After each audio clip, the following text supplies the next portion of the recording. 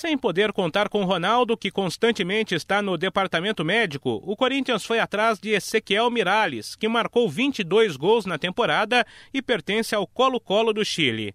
O atacante de 27 anos conta do interesse do Corinthians. Pelo que eu tenho entendido, o treinador que chegou há pouco me viu jogar e me achou bom.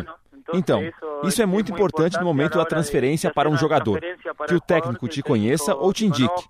E isso é muito bom. Oxalá que nos próximos dias terminem as negociações. Miralles diz que ainda não acertou salários com o clube de Parque São Jorge.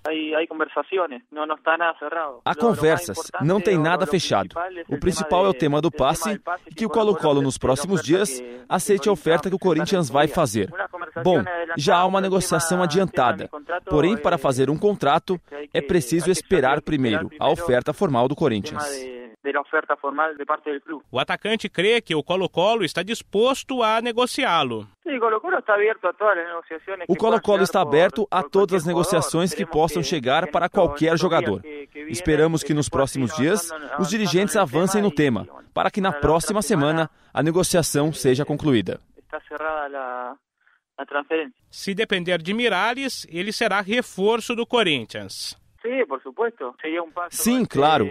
Creio que seria um passo muito importante na minha carreira. Um passo esportivo e econômico, porque jogar no Brasil no campo esportivo é bom, pois os clubes sempre brigam para conquistar os torneios internacionais.